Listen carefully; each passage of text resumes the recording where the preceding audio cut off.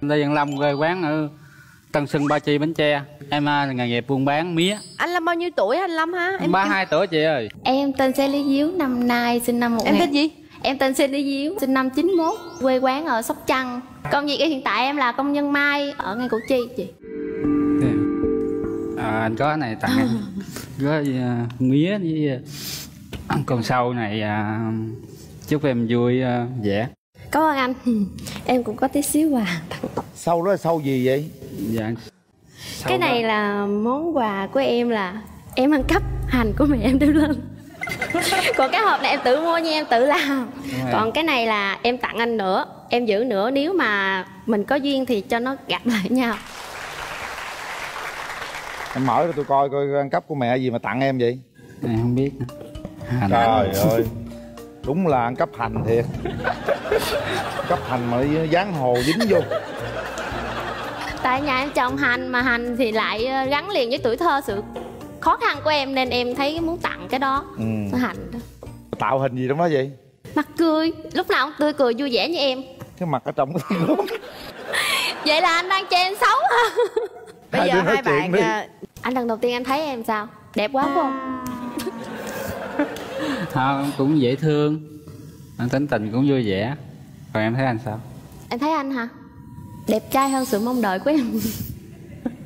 Nhưng mà thấy anh hiền, ít nói, anh buôn bán mà anh ít nói rồi anh buôn bán làm sao? thì lại người ta hỏi giá cái anh nói giá người ta trả giá cái em ờ, được anh bán không được thôi Chứ bình thường ờ, anh để hàng vậy là muốn mua không mua kệ anh. đúng rồi tại anh không có rau vậy tại anh, anh có chiếc xe mà Ờ. có chiếc xe thì xe lôi đó Vậy là để vậy là có cái lo là tự phát là tự hỏi ra. là không có lo luôn bắt đắt thì đắt, muốn ế thì ế tệ hả? anh bán đã quen rồi À. khách mối quen lắm thì người ta lại ta mua không à, Ủa vậy là anh bán một chỗ hay là anh bữa nay đi chỗ này mai đi chỗ kia? à đứng con chỗ mà Đứng một chỗ vậy ngoại hình đẹp trai vậy mà sao không có em nào hốt anh đi được? cũng có chứ tại anh ờ, cũng hơi kén chọn Ồ kén chọn hả? tại nhiều người ta lớn tuổi hơn anh quá với nhỏ tuổi hơn quá anh sợ người ta còn bồng bột nên anh mấy người thích anh cũng mới có 20 21 tuổi à Ủa vậy hả? Trời cái tuổi đó là, là tuổi đang đẹp mà sao anh không hốt gì kìa? tại còn nhỏ. tuổi quá. Anh không thích. Vậy vậy mình từ từ mình nuôi nấng mình rèn luyện nó sao mà được mà anh? Còn em là anh thấy em lớn tuổi vậy thôi chứ cái tính cách của em là nó còn trẻ trâu lắm. Vậy đó. Nó tưng tưng tưng tưng tưng tưng vậy đó là anh về rồi anh thấy sao? Cũng vui mà anh thấy em cũng vui. Rồi em mà cái miệng tí lia tí lia vậy anh chịu nổi không anh thích người nói nhiều mà Dạ. mà đừng có nhiều quá đừng có càm rà mà đừng Nếu mà bình thường mà anh đi làm về mà anh suốt ngày đi uống bia ôm anh làm 500 ngàn uống hết 400 còn trăm về coi như là em rút ấp ống anh liền Anh chịu nổi không? À, tại anh chưa có giờ có em chứ mà anh có em rồi về anh đâu có đi Đúng không? Anh có bị bệnh tim hay là bị yếu tim gì không? không Ồ vậy thì nếu mà anh có bị bệnh tim hoặc yếu tim thì anh đừng nên bấm nút. Còn anh mà không bị bệnh tim thì anh nên bấm nút Tại vì thường thường là không có ai chịu nổi em hết trơn á? Để em hỏi trước.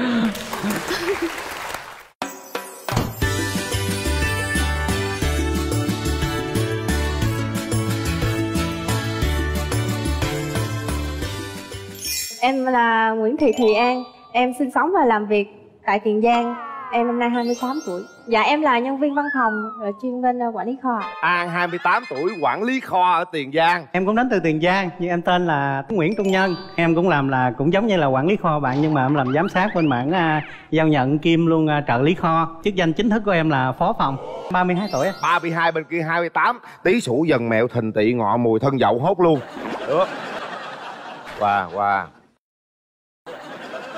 Ví dụ nhà em nuôi chó nhiều quá, à, tới lúc anh vô rồi em có dẫn anh vô không? Tất nhiên là có rồi Chứ đừng để rượt anh chạy là anh không dám quay lại nha. Không có chuyện đó đâu Em bảo kê cho anh Rồi Dạ. Rồi à, bữa nay anh có đến à, chương trình anh có tặng em một món quà mà do chính tay anh làm. Hả? Hay đó đưa qua Rồi, anh tặng em. Dạ em cảm ơn anh Em khéo tay quá Em cảm động quá. Hai đứa cảm nhận lần đầu tiên gặp mặt như thế nào? Em cũng hơi bất ngờ hôm nay bạn gái bạn áo màu hồng đúng mà em thích nữa. Lần đầu tiên gặp anh á Thì em thấy cũng bất ngờ. Giống như là em yêu cầu. Thấy anh cũng ờ, dễ mến Hiền. Hy vọng là Mình ờ, có duyên có nợ. Bây giờ à, mình nói với nhau một câu. Nói từ trái tim của mình nha. Mình suy nghĩ về người đối diện thế nào Sau đó mình tiến hành là bấm nút thôi em lên đây nói cũng uh, bất ngờ thấy bạn gái uh, cũng uh, rất là hiền. Em thấy lòng nó nôn nao gì không? Dạ cũng có hơi hơi anh. Hơi hơi nôn nao rồi. À, em gái nói gì? Em là cô gái Tiền Giang Không xinh đẹp cũng chẳng giỏi giang. Để tìm anh em vượt ngàn cây số. Đến chương trình này Mong gặp được anh. Anh ơi anh có thích em chăng? Thì hãy bấm nút anh nhé. Đừng để trái tim à, nửa đỏ nửa xanh giọt nhớ giọt thương anh gửi lại. Mà sao giọt tình vẫn chưa phai? Thương em đêm trắng anh thức trọn cầu mong tơ hồng sẽ lứa đôi. Trời ơi, thôi thôi quay lại bấm nút. À, em tên là Hùng Nguyễn Minh Hùng, quê ở à, An Giang. Em à, hiện tại à, à, là nông dân thì em à, làm vườn. Em tên ờ, Nguyễn Luận Thảo, năm nay em được 27 tuổi rồi. Em đang làm việc tại Long An Em ờ, sống ở Kiên Giang. Mình làm công việc gì ở Long An? Dạ, em là nhân viên ờ, kiểm hàng. Có sao để vậy người Có ơi? sao để vậy người ơi luôn ha. Hồi nãy quấn cái khăn đẹp lắm. Rồi Có cái kẹp quở quá Linh nó lấy rồi. Đây à, anh có đóa hoa Dạ, em em. cảm ơn anh. Với lại à, cái này tranh gia đình anh chồng. Dạ. Để. Em thấy cái vụ mà hói hói đó thấy ổn không Sao, sao, sao Hả? nói nhiều vậy xưa kia nó không hói nhưng bây giờ nó hói. Thôi ờ, sau chương trình anh về anh tìm thuốc ờ, ờ, sử dụng tóc cho mọc nhiều ra chút xíu đi À, hình như có mắc he thì phải à. ừ, Lần đầu tiên anh gặp em thì anh cảm giác như thế nào Nói chung à, giống như nãy em nói vậy đó. Thì à, nhìn em ban đầu thì thấy nó hơi dữ.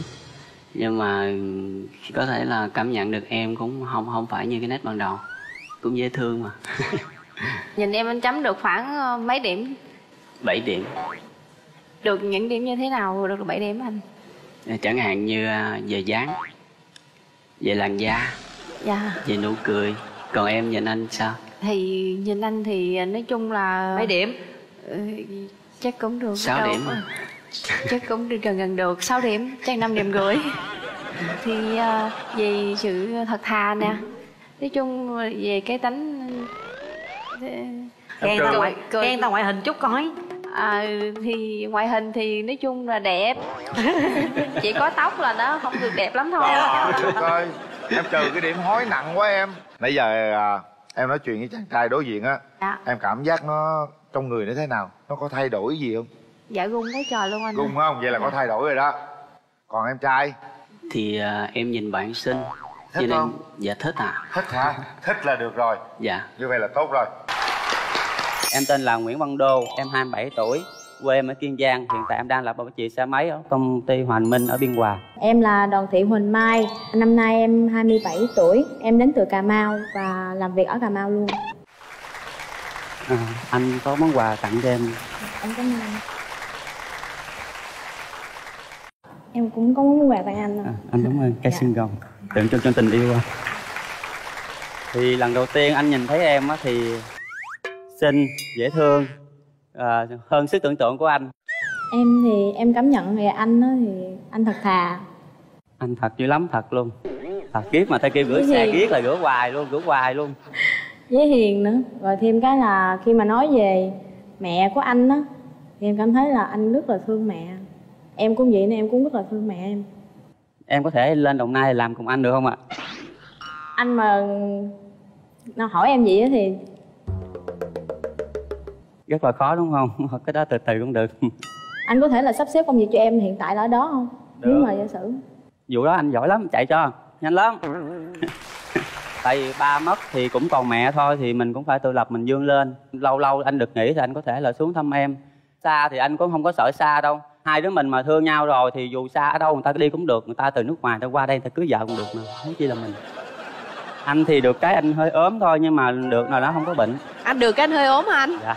Công việc của em thì nói chung em cũng siêng làm nhiều khi đi làm rồi cỡ buổi trưa đi sửa xe rồi thôi để thôi gán gán đi gán cái qua giờ. Thì nhiều khi mình ăn không đúng giờ với lại không có đúng chất bên kia thì nó cũng ớn anh cũng ăn đâu có đúng giờ đâu mà sao anh mập dữ vậy à, hai bạn có món quà tinh thần gì tặng cho nhau không? Nhảy có có có. Có không? Thì à, đến với chương trình thì cũng như tặng cho tất cả mọi người ở đây cũng như là bé Mai ở trên này là anh chị Quyền Linh và chị à, Năm Thư. Thì em xin hát một đoạn của cái bài phố đêm. Ờ, tuy nó không có được hay thôi nhưng mà nó cũng tinh thần là nó vui. Phố đêm. Phố đêm đèn mơ vắng vắng màu trắng như vì sao gối đầu ngủ yên phố đêm nhiều lần suy tư. Khi nhớ còn trong phố đêm. Ờ em quên lời cho em qua được không? Ờ, phố đêm nữa rồi. Phố đêm.